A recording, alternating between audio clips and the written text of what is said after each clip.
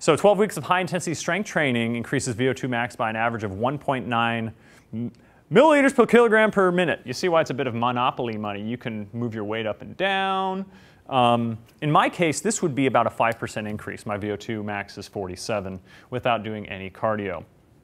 Um, in order to be at the elite level, according to, to the list that they put out there, you have to be at 50.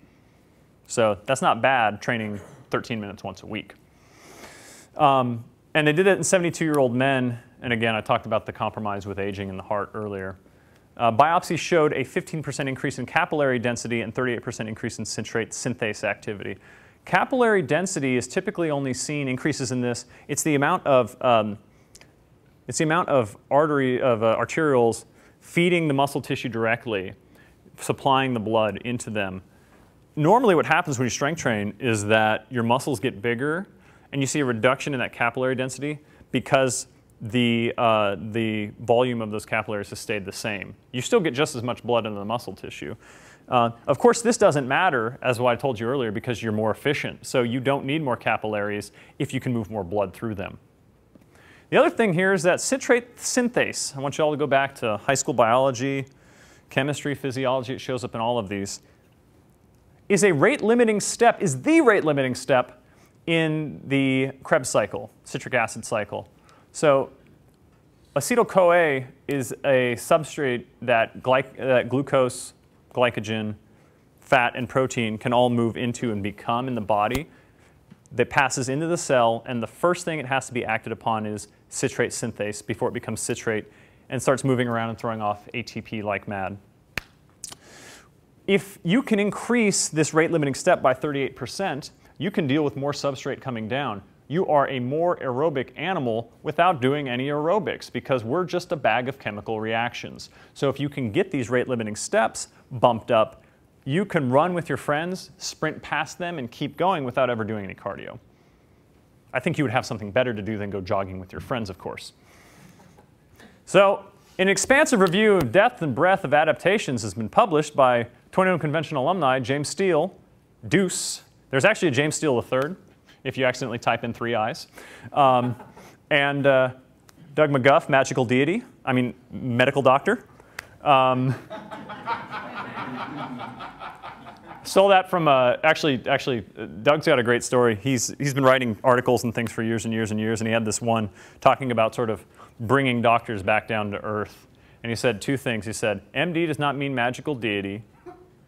And you might think being a doctor is a great job and it's hugely rewarding in a number of ways. But how many of you have to stick your finger in a sphincter on a daily basis? That's why they pay them the big bucks. I'm sure you could privatize that too. I'm sure there's got to be a way to privatize the sphincter poke. Gene expression defined. Hey, here we are. It's the conversion of information into messenger RNA from the gene, and then it becomes the phenotypic mani manifestation of the gene. Uh, genes are knobs and switches that are influenced by the way you live. They are not genetic destiny, uh, except for talk sounding exactly like your father years later. Uh, if I simplify that, it's the building blocks that make you, you in, via environmental influences. And again, this is called your phenotype you, your genes are going to determine how tall you are, the max amount of muscle tissue you can have, the max amount of VO2 max. But that's a giant range in which you can operate under and make improvements in. Uh, so yeah, I mean, you know, Gattaca, lots of G's, A's, T's, and C's, and that's your gene being expressed through messenger RNA in result to input from the outside world. Uh, so you've got all of these genes associated with aging corresponding with mitochondrial dysfunctions, the powerhouse of the cell. Um, if you run out of power, the, you know, if you can't metabolically continue to support that cell, it's going to die. There are some immortal cells, uh, but this in, in, a general sense is what we're talking about with mitochondrial dysfunction.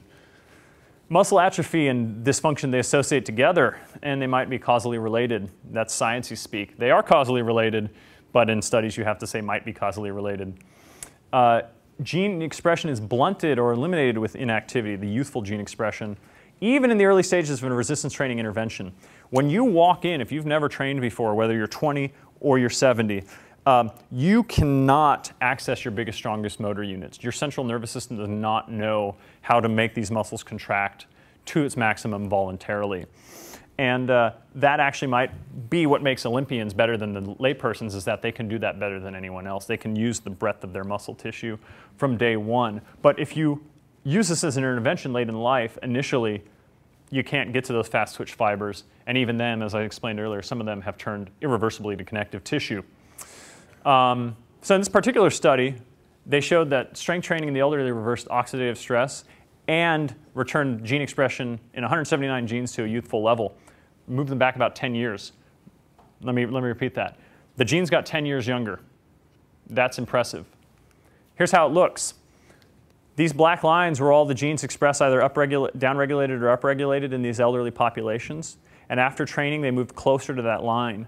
That's flat. If I make that three-dimensional, give you an x and a y axis, or not three-dimensional, an x and a y axis, you see this black line here is a youthful gene expression and these twin peaks are the genes moving back to center.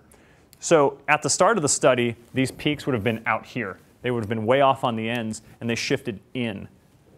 That's pretty staggering stuff. You just, you just anti-aged. You just reversed aging by 10 years. And it wasn't a Clairol night cream for the crow's eyes either, promising that stuff. Telomeres, telomeres, telomeres, telomeres. They are regions at the end of your chromosomes that protect the gene. Uh, because through replication, the gene is exposed to damage and they help to reduce that. And if they divided without the telomeres, they would lose the ends of the chromosomes and the information they contain. So these caps, these little tiny helmets are there. Um, and they, that's what they protect the gene to continue to either not recreate out of control, cancer, or become so short that you're eroding genetic information. But aging does that. Telomeres are your protection, they're your shield, you want that strong. So regular physical activity was thought to reduce telomere length, which is actually true in endurance athletes. So, you know, endurance activities are gonna kill you. If you still wanna do them, good luck to you, but don't sell them as a healthcare intervention. Things are different with regards to strength training. Not entirely, but I'll get to that. In this particular study, power lifters had a longer mean and minimum telomere compared to sedentary men, except for the strongest in the squat and the deadlift. The guys who were the strongest had the smallest telomeres, even though they were better than the sedentary population. And so, talking about this, when you train, you're recruiting satellite cells for regenerative events. Um, that shows improvements in the telomeres. But if you can't, don't give those satellite cells enough time to fully recover the tissues that you've acted upon, you are short-circuiting this process. And based on this data, what I think is happening is that these guys who are really, really, really, really, really strong are the hyper responders. And so they, on a muscle plasticity level, get stronger, stronger, stronger living in the gym. But at a genetic level, they're actually short circuiting the way in which their cells grow and change. Can't prove it, but these two seem to suggest that. Um, and so in this case, stress is also involved. The active individuals with the lowest amount of stress have the um, longest telomeres. Strength training is a stressor. Too much of it is going to shorten the telomeres, and these guys like training. They really like training. That's going to reduce the length of their telomere because they're living in the gym. So here's some hormones and some protein, I'm sorry, some proteins that are involved in this. mTOR is typically antagonistic of AMPK. You see increases AMPK in endurance cardiorespiratory uh, training. mTOR goes up with strength training. Um, and they regulate cellular aging genes. And so in order to restore the length of the telomere, you need telomerase that keeps that going. So if you alter AMPK levels, you improve the telomerase output, which increases the repair of the telomere. You don't get that being sedentary. That actually drops off fairly substantially. So there's no doubt, there's a link. Now we're on to the biological immortality. This is Michael Rose. This is not Ira Glass of, um, uh, he's an evolutionary biologist at the University UCal Irvine. Uh, strangely enough, he and Art De Vany both, if you're familiar with who Art De Vany is, they're both there. They never interacted. That's problematic. Humanities, we'll never see the social sciences, we'll never see the natural sciences, liberal arts. They all stay away from one another, unfortunately. First, what bio biological immortality is not. It's not Greek-like immortality, or to put it another way, one does not simply stop aging.